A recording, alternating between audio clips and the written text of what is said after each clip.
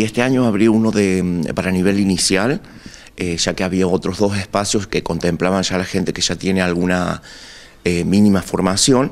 Entonces este año, los días lunes, comenzó un grupo nuevo, un taller nuevo, que es de 21 a 23 horas y está dirigido a gente sin experiencia, digamos, de nivel inicial. Apenas lleva eh, dos clases, así que todavía están a tiempo por los que estén interesados en inscribirse. ¿Para qué gente de qué edad es? ¿Cuál es el público que, puede estar participando en este taller? Bueno, este, este taller está dirigido a adultos desde los 20 años en adelante, pero no es excluyente, digamos, si hubiese alguien eh, de manera particular que, tiene menos de esa edad y, tiene la iniciativa de hacerlo, bueno, no hay problema. Digamos, lo apunto para 20 años en adelante porque se supone que es un espacio dirigido a adultos, ¿sí? ¿Qué se hace en un taller de teatro? ¿Cómo son esas clases? ¿Cómo son esos encuentros?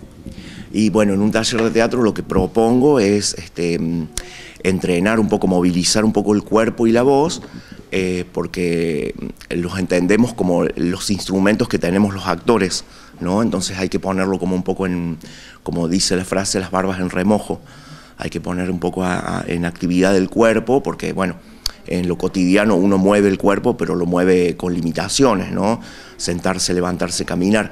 Este, en el espacio del taller lo que intentamos es entrenar un poco para que el cuerpo, este, digamos, sea el vehículo para lo expresivo, tanto el cuerpo como la voz. Y en estas clases también después se va planificando eh, alguna presentación, van tomando obras para hacer. Y en general sí, los talleres terminan a fin de año con una muestra público de lo que se realiza durante el año, digamos, a partir de la segunda mitad del año, siempre nos abocamos a pulir, este, digamos, a, poner en escena alguna cosa de que, que, emerja de la ejercitación misma y eso que, se termina como convirtiendo en pequeñas escenas. ¿Los talleres avanzados siguen aquí y en Tabla 2 también?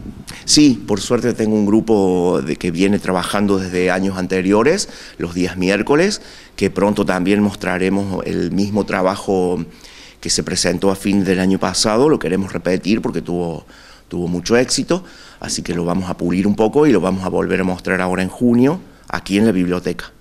¿Y en tabla 2 eh, eh, hay lugar para gente nueva o sea es un taller avanzado también? Y bueno, el taller de tabla 2 también está dirigido a, es de nivel inicial, pero comenzó a, eh, a principios de marzo, o sea que ya lleva un mes, un mes y algo de trabajo, pero digamos que está mejor el, el espacio de los lunes porque recién comienza, es el más adecuado para comenzar a esta altura del año el que quiera sumarse a los lunes, entonces directamente viene a hablar con vos el próximo lunes. Sí, hay un sistema para inscribirse y eso, pero como está ya avanzado, eh, pueden venir directamente a las 21 horas acá a la biblioteca y ya probar la clase.